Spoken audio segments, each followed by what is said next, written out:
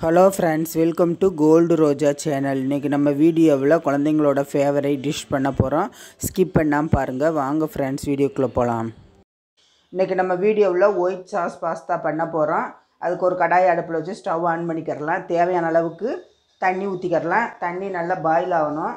இப்போ நல்லா பாயில் ஆயிடுச்சு இப்போ ஒரு ஸ்பூன் அளவுக்கு கல் உப்பு சேர்த்துக்கரலாம் ரெண்டு ஸ்பூன் அளவுக்கு ஆயில் சேர்த்துக்கரலாம்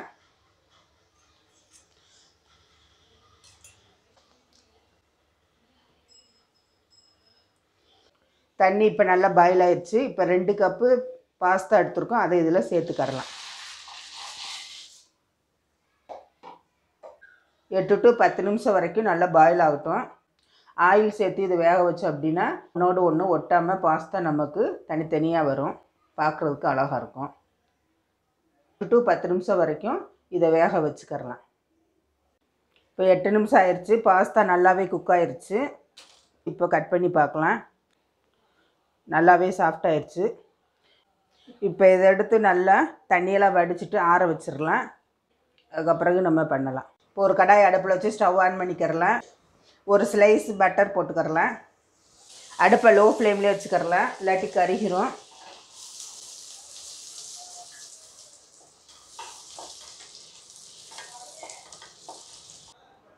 இப்போ நல்லா மெல்ட் ஆயிடுச்சு நம்ம எடுத்து வச்சுருந்த காய்கறியெல்லாம் சேர்த்துக்கரலாம் சின்ன வெங்காயம் குட்டியாக கட் பண்ணி வச்சுருக்கோம் அதை இதில் சேர்த்துக்கரலாம் இதை ஓரளவுக்கு வதக்கிறலாம் ரொம்ப வதக்கணும்னு அவசியம் இல்லை. இந்த ஒயிட் சாஸ் பாஸ்தாவுக்கு காய்கறி இல்லாமல் வெறும் பாஸ்தா மட்டும் போட்டு கூட நம்ம பண்ணிக்கிறலாம் வெஜிடபிள்ஸ் எல்லாம் சேர்த்தோம்னா டேஸ்ட்டும் நல்லாயிருக்கும் ஹெல்த்தியானதும் கூட. வெங்காயம் ஓரளவுக்கு வதங்கிருச்சு. இப்போ கேப்சிகம் ஒரு கப் எடுத்துருக்கோம் அதை இதில் சேர்த்துக்கிறலாம். ஒரு ஐம்பது கிராம் பூண்டு இந்த மாதிரி துருவி வச்சுருக்கேன் அதை இதில் சேர்த்துக்கிறலாம். இது நல்லா வதக்கிடலாம். பச்சை பட்டாணி கொஞ்சம் எடுத்து வச்சுருக்கோம் அதை இதில் சேர்த்துக்கிறலாம். கேரட் கொஞ்சம் குட்டியாக கட் பண்ணி வச்சுருக்கோம் அது இதில் சேர்த்துக்கிறலாம். இப்போ இது எல்லாம் கட்டர்லேயே வேக வச்சுக்கிறலாம்.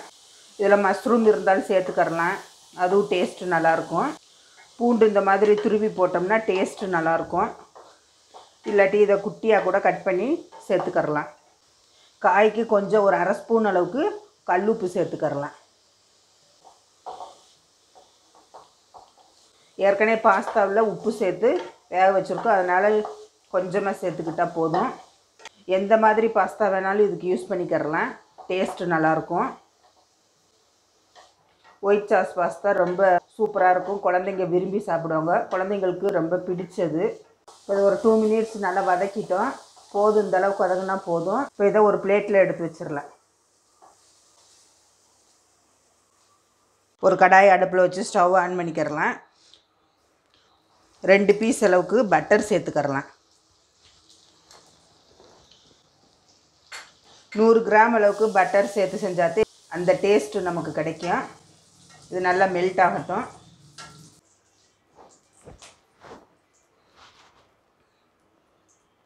மெல்ட் ஆயிடுச்சு. இப்போ நம்ம எடுத்து வச்சுருந்த மைதா மாவை இதில் சேர்த்துக்கரலாம் அடுப்பை லோ ஃப்ளேம்லேயே வச்சுக்கிறலாம். கட்டி சேராமல் நம்ம இதிலே நல்லா வதக்கிடலாம் மாவெல்லாம் நல்லா மிக்ஸ் பண்ணிட்டோம். ரெண்டு கப் அளவுக்கு பால் எடுத்துருக்கோம். அதை இதில் சேர்த்துக்கரலாம் கொஞ்சம் கொஞ்சமாக சேர்த்துக்கரலாம் இந்த மாதிரி ஆயிரும். கொஞ்சம் கொஞ்சமாக சேர்த்து இந்த கெட்டி இல்லாமல் நம்ம கலக்கிக்கிறலாம்.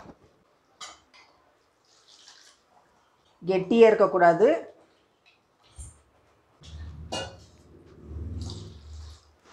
ஒரே இதாக பால் ஊற்றி செஞ்சோம்னா நல்லா கெட்டி ஆயிரும். கொஞ்சம் கொஞ்சமாக ஊற்றி கெட்டியே இல்லாமல் மசிச்சு விட்டுக்கிட்டே இருந்தோம்னா மாவெல்லாம் நல்லா கரைஞ்சிரும். ஒயிட் சாஸ் பாஸ்தா குழந்தைங்களோட ஃபேவரைட்னே சொல்லலாம்.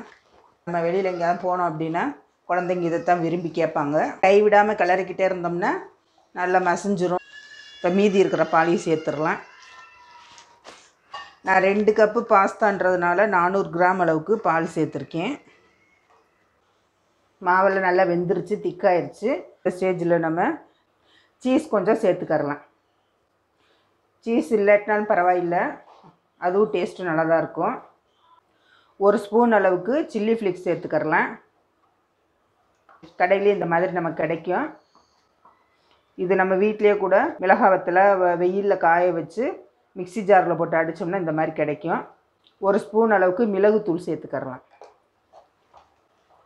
இது நல்லா கிளறி விட்டு இப்போ லைட்டாக கல்லுப்பு சேர்த்துக்கறலாம். ஏற்கனவே நம்ம காய் வேக வைக்கலையும் உப்பு சேர்த்துருக்கோம். பாஸ்தா வேக வைக்கலையும் உப்பு சேர்த்துருக்கோம். அதனால் கொஞ்சமாக போதும். இப்போ நம்ம வேக வச்சுருந்த காய்கறியை இதில் சேர்த்துக்கிறோம்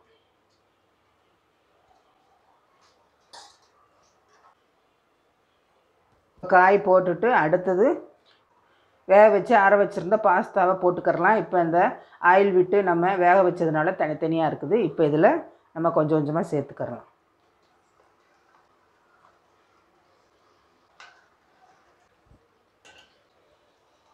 இப்போ நல்லா கிளறி விட்டுக்கறலாம்.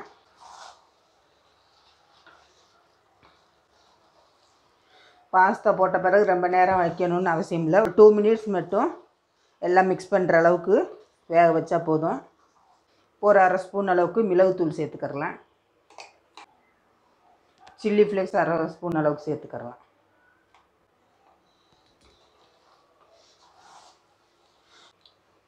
சூப்பராக ரெடி ஆயிடுச்சு இது பார்க்குறதுக்கே சா உடனே சாப்பிடும் போல் இருக்குது.